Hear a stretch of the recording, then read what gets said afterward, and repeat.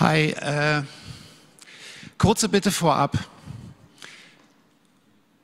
Wenn es Konflikte gibt zwischen Personen, die ich jetzt überhaupt nicht bewerten kann und auch nicht will, das wäre jetzt auch hier totaler Wahnsinn, aber tut uns bitte allen und tut euch bitte den Gefallen, don't panic und calm down, bitte bleibt ruhig und guckt auch bitte ein bisschen, dass sich niemand, niemand bedroht fühlt.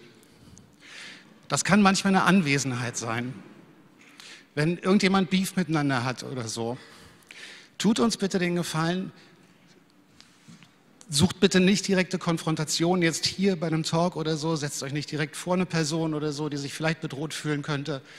Bitte, bitte, tut uns den Gefallen, dass es ruhig bleibt und dass sich hier alle sicher fühlen. Okay?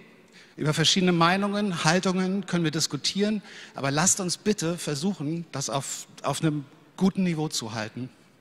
Wir kriegen sonst alle Probleme. Und das wollen wir hier nicht. Und deswegen bitte schützt andere Leute. Bitte, wir brauchen das nicht. Bitte. Dankeschön. Vielen, vielen, vielen Dank. Vielen Dank für diese warmen Worte. So, der nächste Talk. Ihr wisst genau, um wen es geht.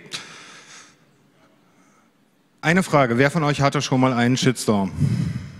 So einen richtigen mit bedroht werden und sowas, das sind gar nicht mal so wenig Leute. Und genau das ist das Thema heute Abend zuletzt. Geht mit ein paar Gedanken darüber, wie ihr kommuniziert. Und als nächstes kommt Laura Dornheim mit Geh sterben, du Fotze. Und sowas habe ich noch nie sagen wollen.